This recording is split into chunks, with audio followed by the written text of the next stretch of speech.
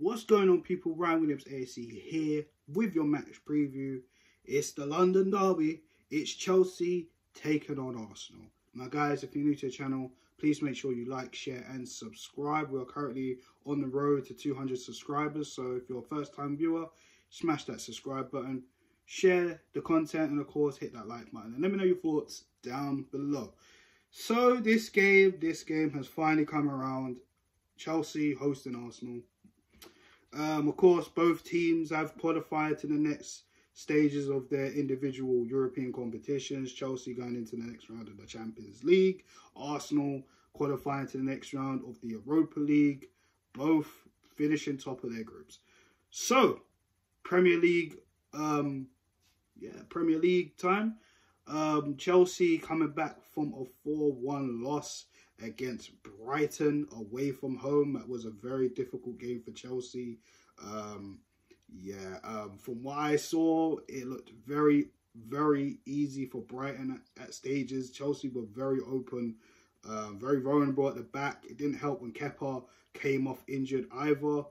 And it looked like Thiago Silva was just defending for his life at times. And two own goals from Loftus-Cheek and Trevor Chalobah um, sorry if I butchered your name. And, you know, Brighton were just causing so many problems. Of course, they did, Chelsea did get a goal um, at the break, um, start of second half, but Brighton managed to put the final nail in the coffin later on um, with Pascal Gross. But, you know, that's Chelsea. Arsenal, on the other hand, um, winning their game very comfortably um, against Nottingham Forest. First half, I felt, well, I done a match reaction, in fact, so you guys can check that out. I go into more detail on that. But, of course, a few bullet points. Uh, you know, we got a great goal for Martinelli. Um, beautiful cross by Bukayo Saka. Um, we left the game at 1-0 in the first half. Of course, Saka did go down just before that. Um, he looked like he couldn't run and really continue. Was a kick down by uh, Renan Lodi. And we bring on Reiss Nelson. Second half, we tie it up. Reiss Nelson getting two goals and an assist from a world-class goal from Thomas Partey. And Odegaard finished it up. Won comfortably 5-0. I mean, it was a very, very good day at the office.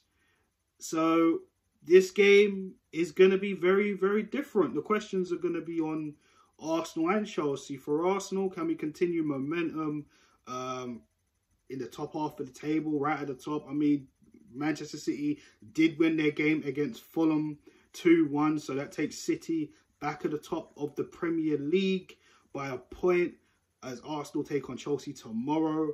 Um, other than that, this is it. This is it. Chelsea, I'm pretty sure they're seventh in the table. Correct me if I'm wrong.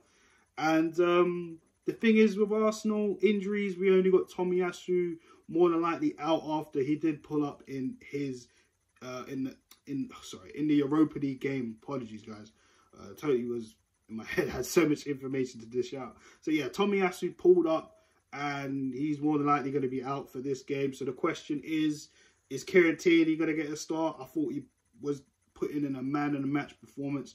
As I said in my match reaction, guys, go check that out if you haven't. Uh, from the Europa League on Thursday, just gone. Um, other than that, the rest of the team is fit as far as I'm aware.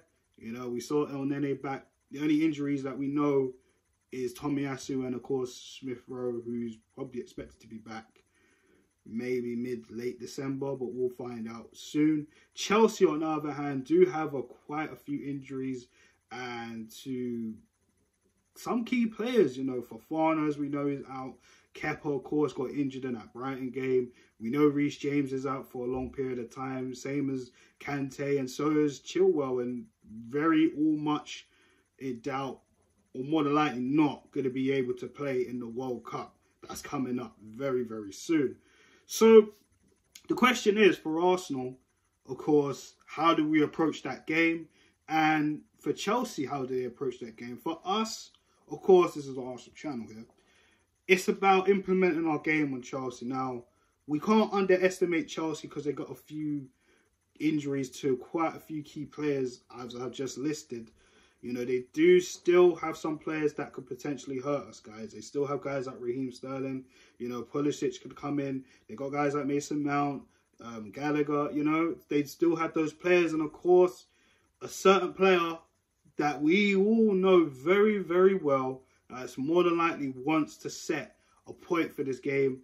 And you've heard it on the advert that's out there in Pierre-Emerick Aubameyang. So that's going to be someone that's going to be up for the game. So that's that's someone we have to really think about as well and try and shut down, you know. So that's going to be questions for Arsenal. Can we deal with that, you know? And of course, their midfield. I mean, um, of course, their their midfield. They got what? Are they gonna they're gonna have to start Zakaria. I mean, I know he played in the Champions League game the other day.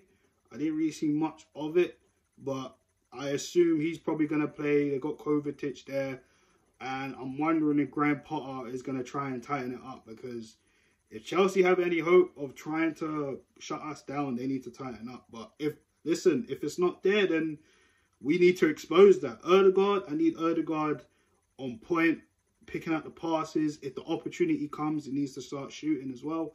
Jesus, I know a lot of people been talking online, you know, should we be worried, Arsenal fans, about um, him not really scoring in, in, a, in, quite a few games, to be honest. His last goal was um, in the North London Derby. So it's, should we be worried? I'm not worried as much because, to be honest, as much as I like Jesus and I want him to score goals, I believe it will come soon, hopefully in this game. But he has done other stuff off the ball, working hard, tracking back and just causing the defense. His energy is vital for us, you know, and the way he allows Martinelli and Saka to really get in behind the lines and you know set up space and, and even creates creates gaps and spaces for Odegaard to find him, as well as other players like Thomas Partey, who we know who can pass, and even Xhaka, you know, so who's who's had who's actually on the form of his life right now. So to be honest with you guys, we need to start very well, fast, you know, and really implement our game on Chelsea because again, right now Potter's trying to find his feet at Chelsea, and we need to make use of them being in a little bit of an iffy form. The reason I say iffy because in Europe they've done well, but the Premier League they haven't really been playing that well, you know. So that's all I got to really say on that, to be honest with you. So for me, with us our advantages is our attack. Our disadvantage, I would say potentially that high line. I know some games we've got away with it. There's games where we haven't got away with it. And, you know, I'm thinking about the pace that they have. I know Aubameyang's not as fast as he used to be, but he is a threat. We, we, we, let's be honest, guys. He is a threat. Um, Sterling, I know he hasn't really been playing that well, but he's still there, you know. Pulisic potentially. Guys, they got players. They got pace, you know. Um, Broja, they use him, who's an unknown entity to us.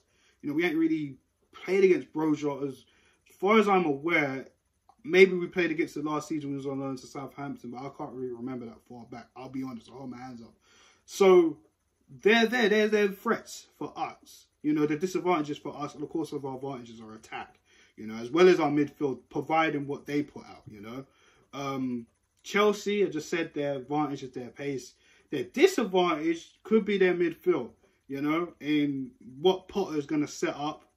Um, maybe their defense. I'm not sure on their fitness of their defenders. I know Koulibaly didn't play uh, last weekend um, against Brighton, so that's something we have to consider as well. And yeah, that's it really. That's all I have for you guys in terms of that. But for me, uh, I'm going for a 2-1 victory. It's going to be tough. I don't underestimate Chelsea. You know, is as bad as they, I don't want to say they're awful, but they just had an awful performance against Brighton. And they're still trying to figure themselves out right now, as well as Graham Potter. So, you know, I don't underestimate my opponents unless I really know they're really bad. But, you know, for me, I'm going 2-1 Arsenal.